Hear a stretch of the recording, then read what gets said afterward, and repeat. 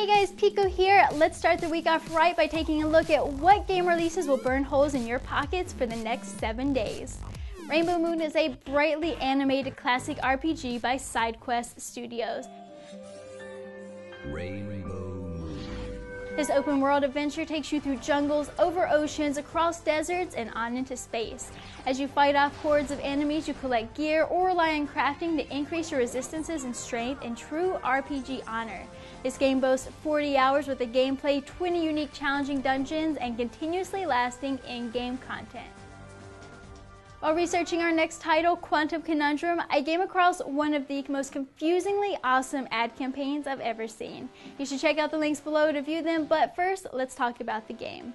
In this FPS action title by Airtight Games, you find yourself suspended between two pocket dimensions where you face puzzle after puzzle, helping the absent-minded professor Fitz Quadwrangle. You will encounter four dimensions that will change the properties of each task. These include the fluffy dimension, making things light, the heavy dimension, one that causes things to move slowly, and one in reverse. You can pick up this wacky title on Steam, PSN, and XBLA. Just a quick mention, Ice Age, the movie series that features silly prehistoric animals, has drawn up a sequel, Continental Drift, which has a supporting game to accompany the release featuring a series of different Olympic style mini games such as target shooting and racing. You will battle some shady pirates with the whole lovable gang by your side. This action title is releasing this week for all platforms. Be sure to check back here for new release announcements and as always, gaming news.